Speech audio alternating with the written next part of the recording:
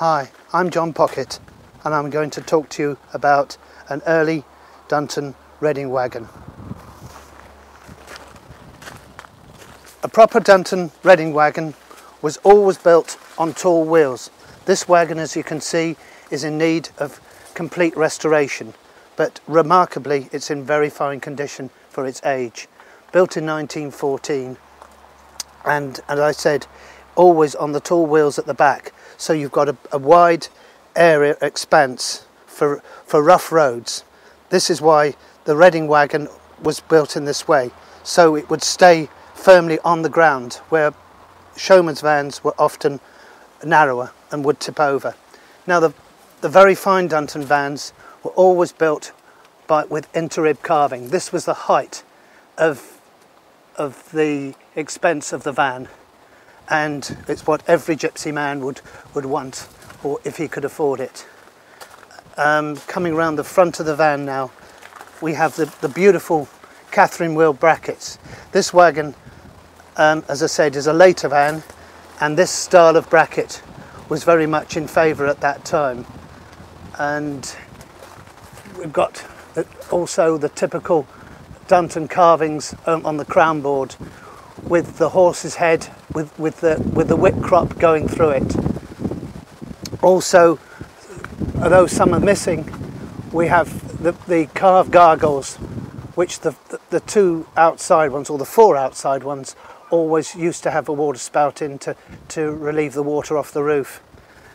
We've got beautiful um, glass in the windows. Um, quite rare to have this, this uh, foliage in red ruby. You'll see it better when we go inside through when, when you see the light coming through it. But the stars in the four corners are, are very traditional, even to the early vans. Um, the steps here are quite unique because these steps are um, original. Very, very few vans have lasted with their steps because understandably they get all the weather. This, uh, this van has been in Australia which is quite amazing and has been shipped back to this country for resale. And it is now, the whole van now is waiting to be, um, to, to be sold to hopefully a, a very suitable buyer and will be a, fabulous, unique piece of, of, of English country folk art.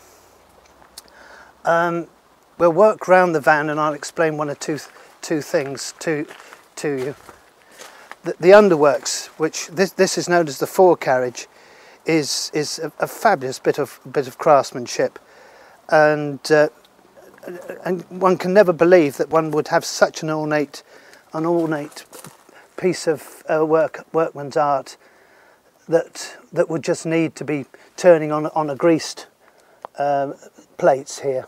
That's all. Everything worked on on grease. The wheels worked on grease, and uh, and so you had to keep this well greased up when you were on the road continually with it.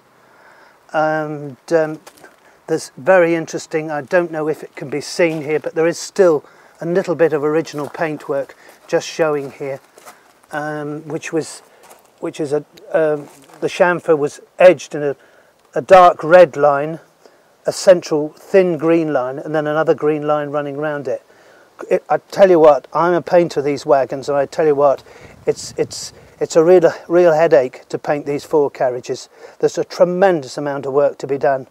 And what you've got to be terribly careful of is when you're painting these, that you don't smudge something you've already done because you, you cannot help but run your sleeve and your arm in, in, into, into wet paint if you're not careful. Anyway, that's, that was my problem. And I've, I've done many of these wagons in the past.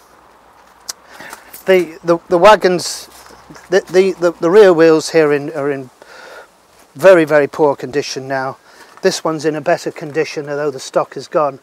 This is known as the, this is known as the grease cap. These, these are still free actually, and I'll take him off and show you that would be filled with grease and then screwed back on tight with a proper spanner, which was supplied with the wagon on when she was new. And th these are known as bell, bell mouth uh, frets. Very, very typical Dunton. These look to be have been chromed at one time. The early wagons were in brass, and then later the, the, the wagons if you wished them. They were nickel plated. I much prefer the nickel plate than the chrome. It's a little bit too glossy and shiny. Um, but this van's got all its grease caps, which is amazing, and all its frets. Right.